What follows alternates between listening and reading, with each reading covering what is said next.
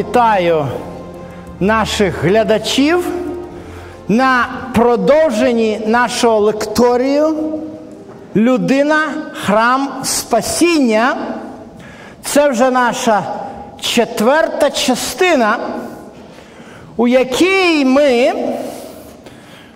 спробуємо розглянути, як власно проходить сам процес нашого лікування. І для цього нам потребує знов звернутися до книг Моїсея саме до опису того, що робили священники. Е, як ми вже вказували в третій книзі Моїсея, е, наприклад, наприкінці 12 е, розділа, коли жінка після полог приносила жертву,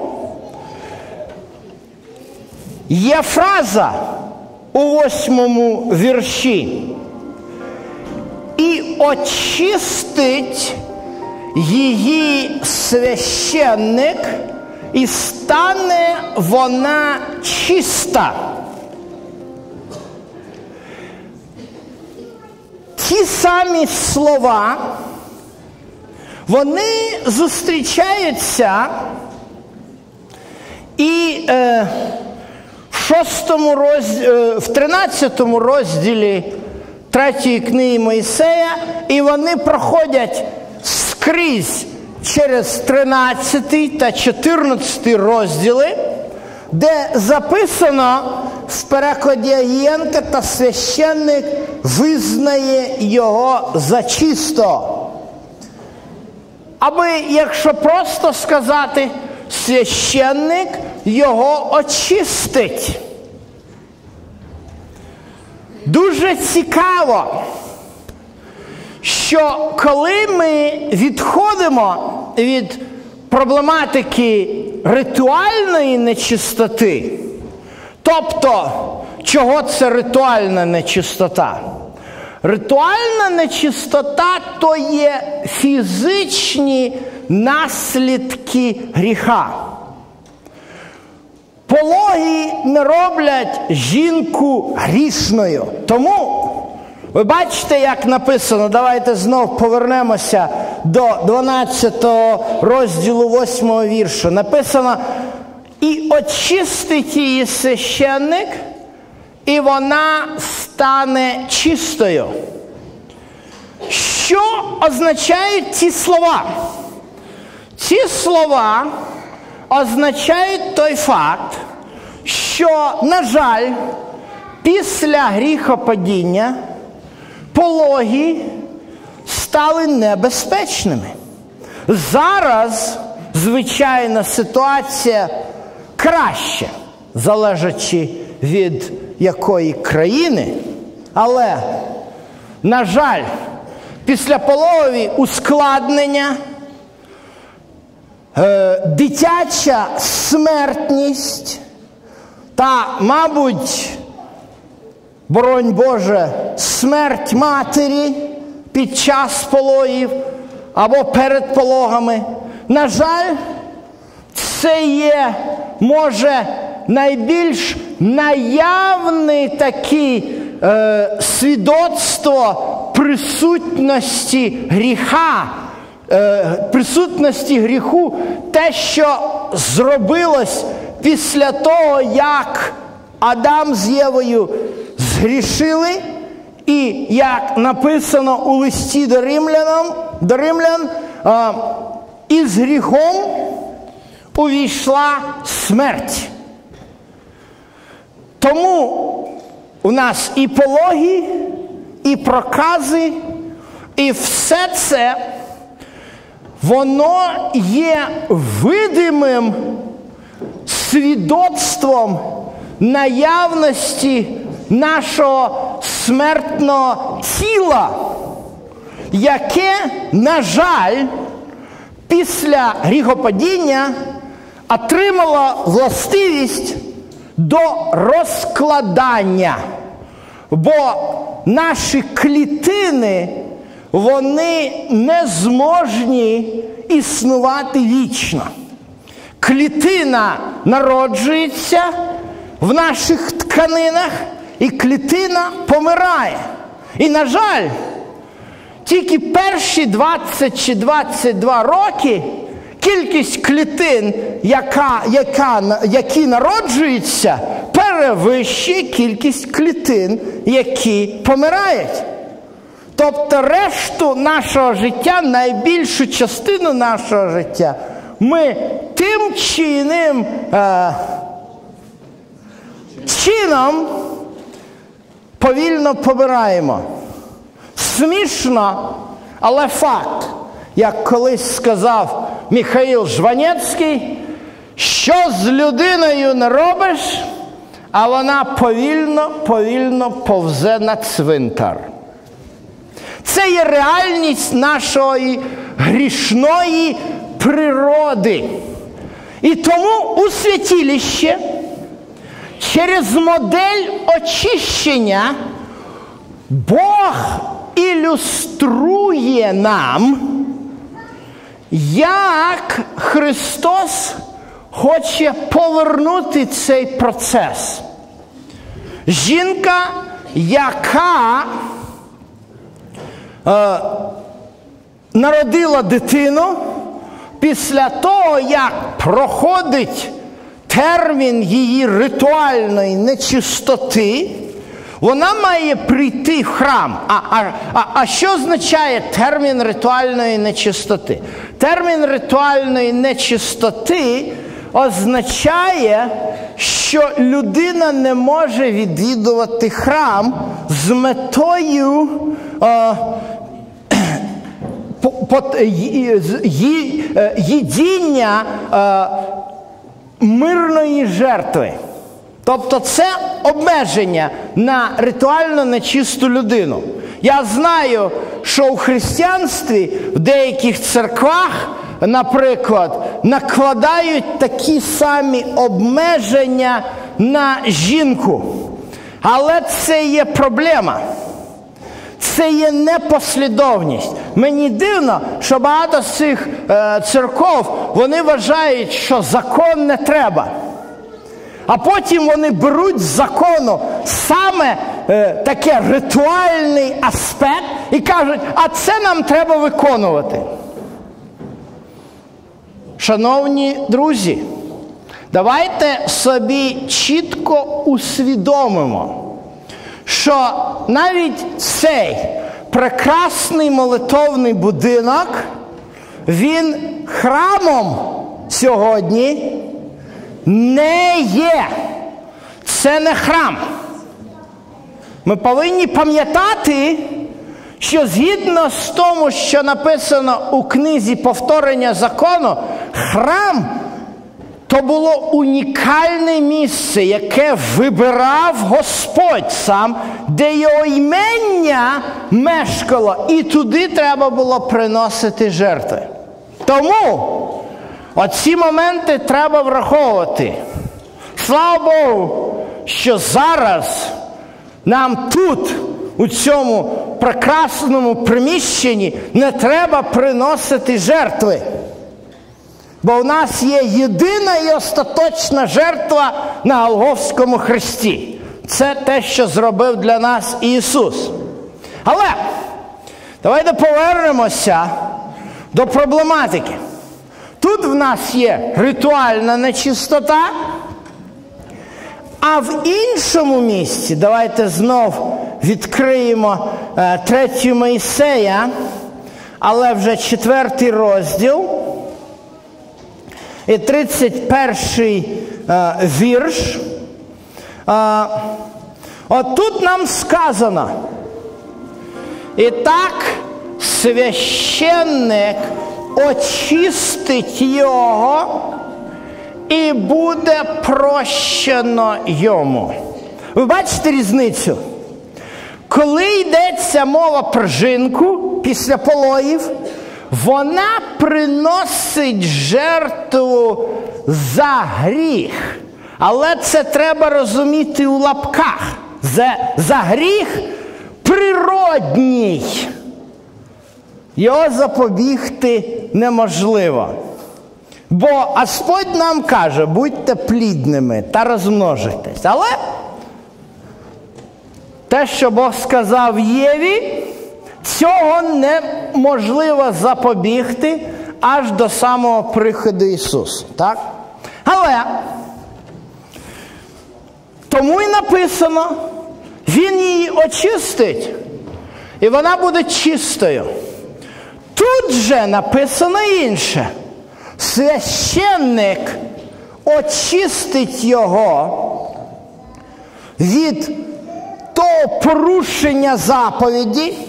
Ми е, е, у минулій лекції казали, е, що це відноситься до того, як душа з народу згрішить невмисне і щось зробить проти якоїсь заповідей Господніх. Тому, коли ця людина принесе жертву за гріх, священник робить очищення, і після цього вже є прощення.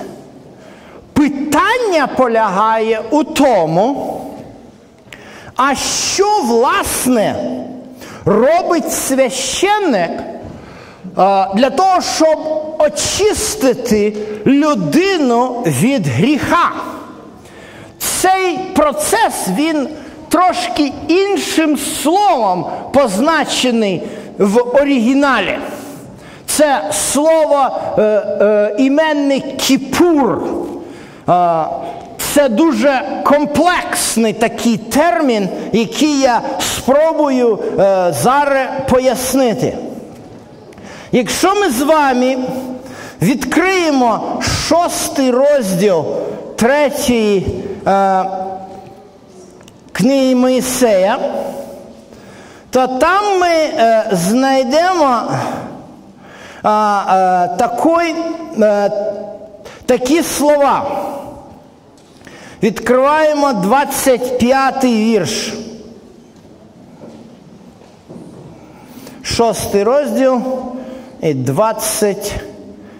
Це це в нас. Ага, тут трошки є різниця. Це в нас е, Агієнковський переклад іде із масарецьким текстом.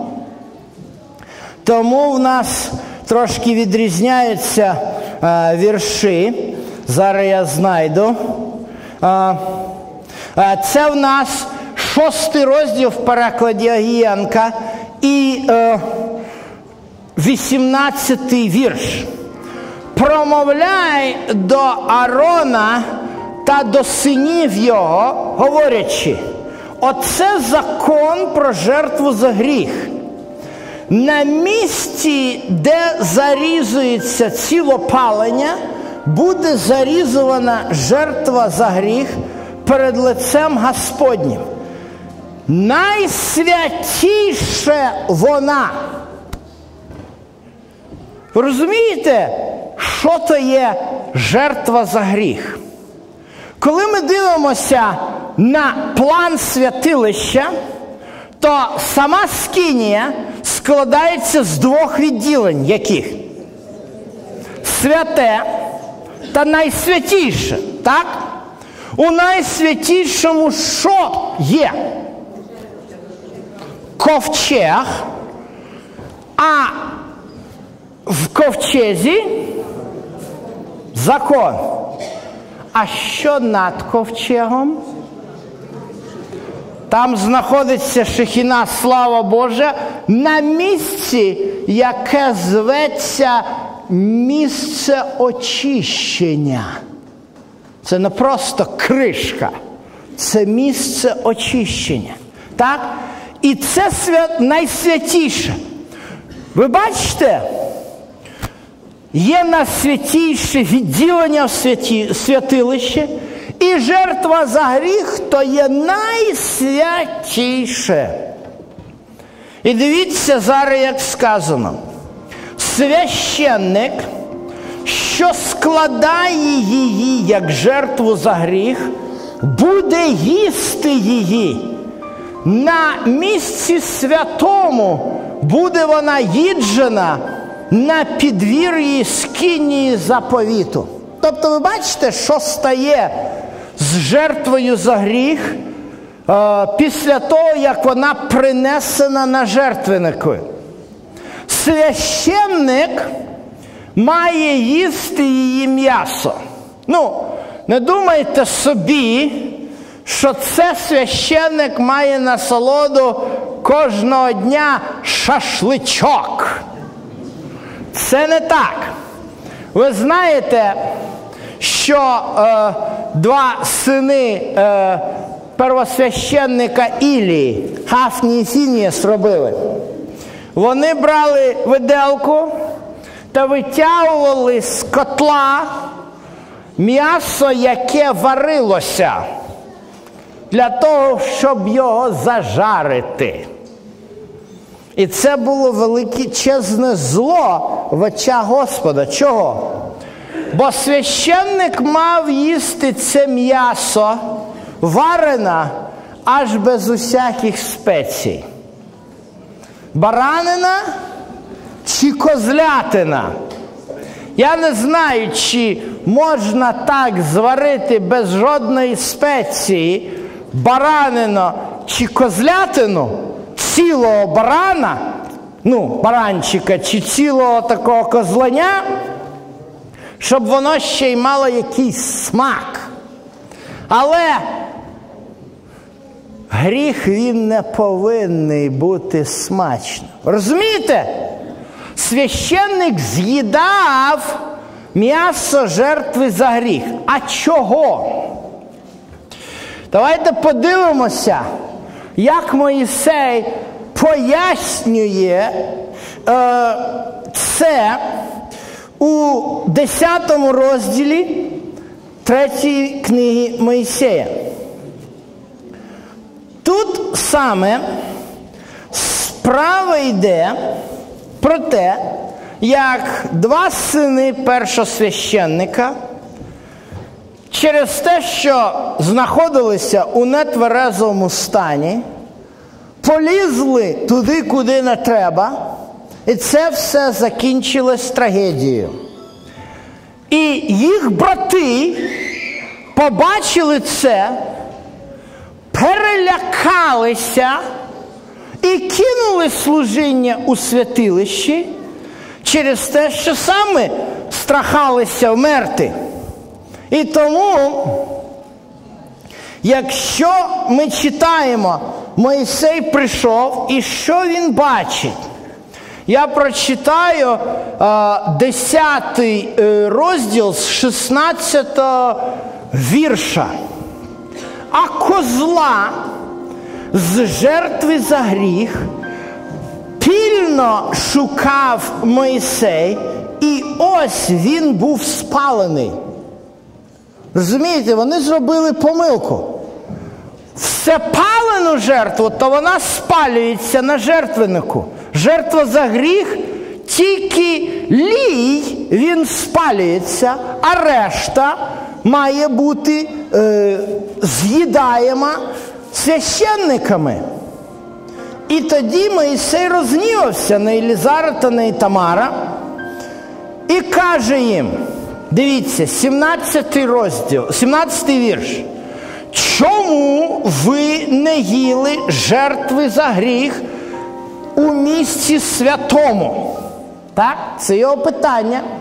Давайте ретельно подивимося на речення, яке йде подальше, наступне. Бо вона найсвятіша. І далі написано, і я дав її вам перше, щоб уневажити провину громади. Другий, е, друге, е, друга фраза, щоб очистити їх перед Господнім ліцем. Ви бачите, що таке очищення? Уневаження провини це очищення. Що це означає? Фактично, уневаження в оригіналі там просто сказано. Ця жертва дана вам, щоб ви носили на собі провину громади.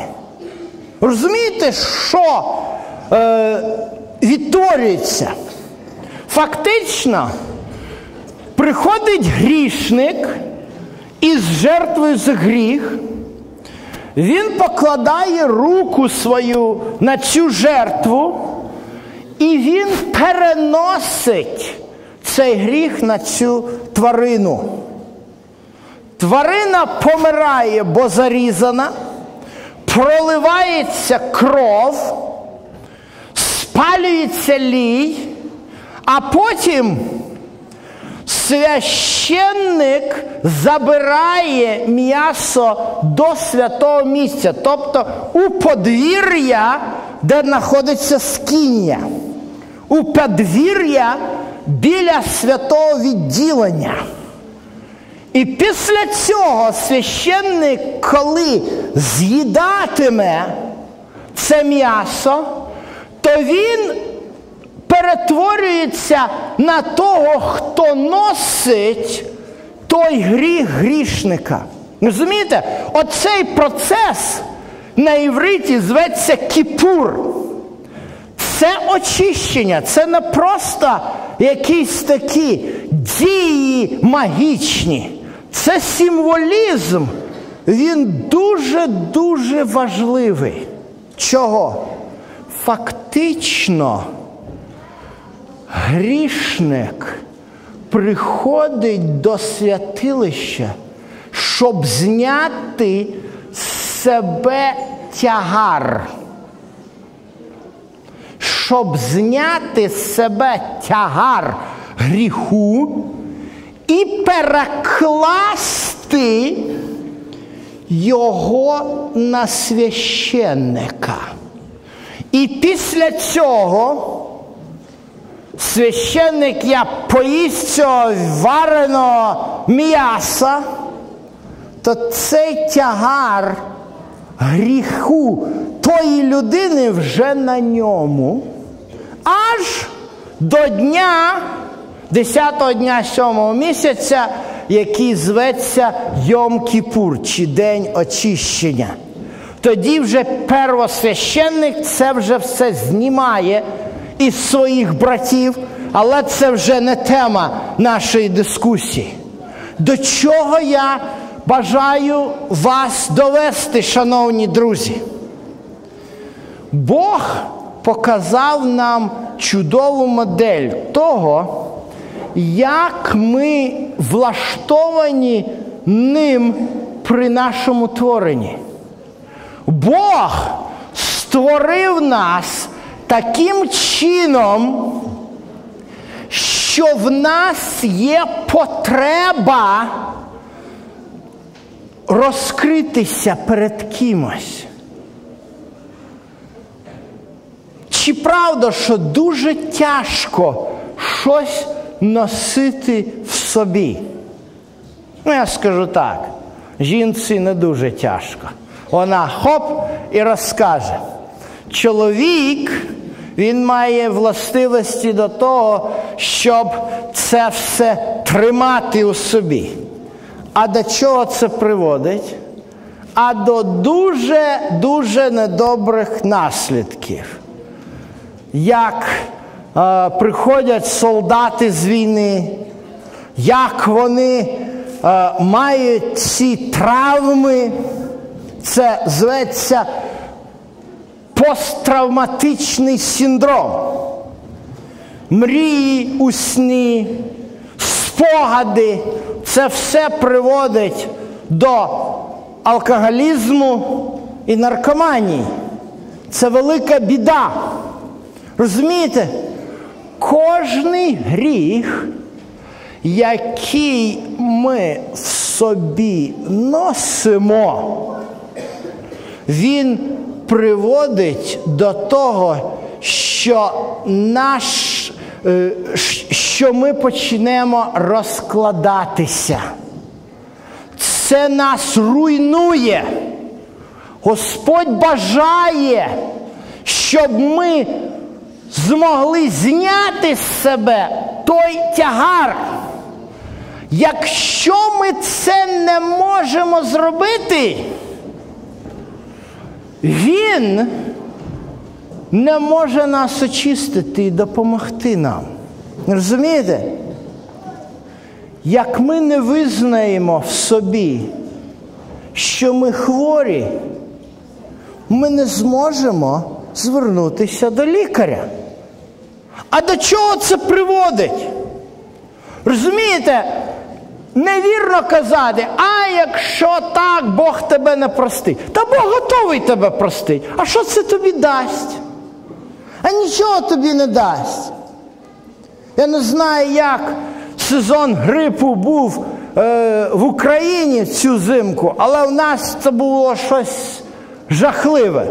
Такий був тяжкий гріб, ще з такими наслідками. Якщо людина, я знаю точно, є, є, я знаю людей, які ну, не схильні до захворювань е, на грип. І вони якось так, о, то мене трошки прихватило.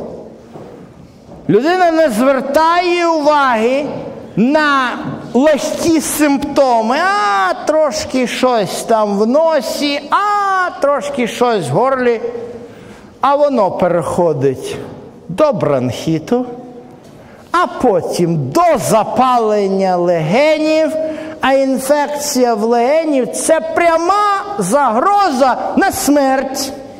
Розумієте? До чого я веду? Шановні друзі, кожний малий гріх, якщо його не почати вчасно лікувати, він доводить до більшої, до ускладнень. А ускладнення доводять до деградації. А деградація доводить до смерті. Ісус сьогодні є наш первосвященник. Мене питали, а що це значить священник очистить? Чи треба йти сповідуватись? Треба усвідомлювати той факт, що сьогодні, згідно з тому, що нам пише Павло у листі до євреїв, у нас є тільки один, до кого ми можемо йти сповідуватись. І цей один чекає кожного з нас сьогодні, щоб ми зняли з себе той тягар, щоб ми визнали, що в нас є, і зняли. І тоді почнеться процес нашого уздоровлення. Чи бажаємо ми уздоровитись духовно? Для цього нам треба, щоб Господь показав нам, де в нас проблема. І ми почнемо її уздоровлювати.